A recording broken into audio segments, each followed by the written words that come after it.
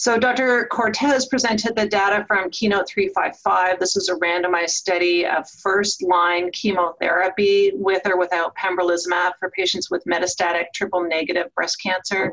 Of course, last year we saw the uh, FDA approval of atezolizumab in combination with nab-paclitaxel, specifically based on the Impassion 130 data.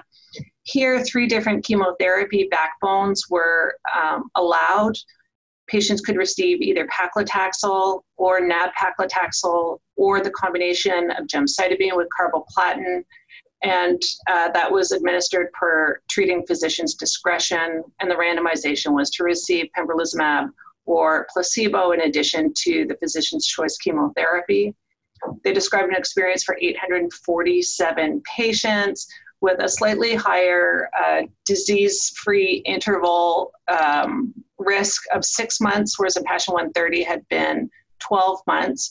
They presented one of the co primary endpoints. They had co primary endpoints of progression free survival and overall survival. And they presented progression free survival of uh, 5.6 months versus 7.5 months for the intent to treat population, 5.6 versus 7.6 months for those with a combined positive score greater than or equal to 1 so that was 75% of their population. And then an even larger improvement in progression free survival of 9.7 months versus 5.6 months for patients with combined positive score greater than or equal to 10.